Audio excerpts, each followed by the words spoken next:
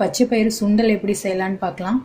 அதுக்கு ஒரு கப்பு ஊற வச்ச பச்சை பயிறு எடுத்திருக்கேன். இது எட்டு மணி நேரம் ஊறணும். இப்போ ஒரு கப்பு பச்சை பயிருக்கு முக்கால் கப்பு தண்ணி சேர்த்துருக்கேன். இது கூட உப்பு சேர்த்து மூடி போட்டு ரெண்டு விசில் விட்டுடலாம் இப்போ ரெண்டு விசில் ஆனதுக்கப்புறமா ஏரை எடுத்து விட்டு ஓப்பன் பண்ணிக்கலாம்.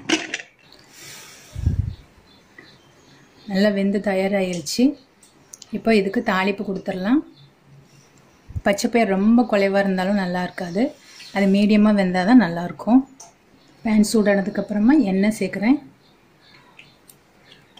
எண்ணெய் காஞ்சதுக்கப்புறமா கடுகு உளுந்தம்பருப்பு காஞ்ச மிளகாய் ரெண்டாக உடிச்சு வச்சுருக்கேன். கடுகு பொரிஞ்சதுக்கப்புறமா கருவேப்பிலை. ஒரு பல்லாரி நீல வாக்கில் கட் பண்ணி வச்சுருக்கேன். அதை சேர்க்குறேன். பல்லாரி ரொம்ப வதங்க வேண்டாம். ஒரு ஹாஃப் டீஸ்பூனுக்கு பெருங்காயத்தூள் எடுத்திருக்கேன் அதை சேர்க்குறேன். அப்படியே சேர்த்து கலந்து விட்டுடலாம்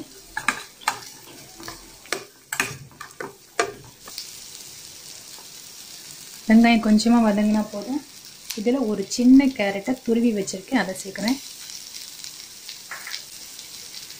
இது லேசாக இதில் போட்டு கலந்து விட்டுடலாம்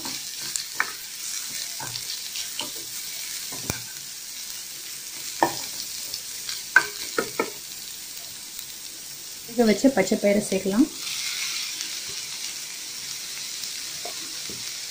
அது சேர்த்து கலந்துடலாம்.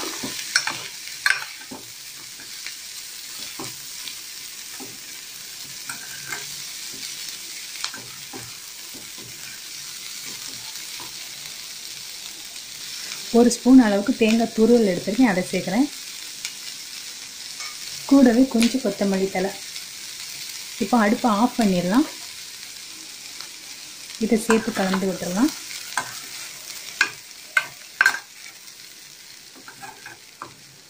உப்பு தேவைன்னா செக் பண்ணி போட்டுக்கோங்க. அவ்வளோதான் இப்போ பச்சைப்பயிறு சுண்டல் ரெடி ஆயிருச்சு.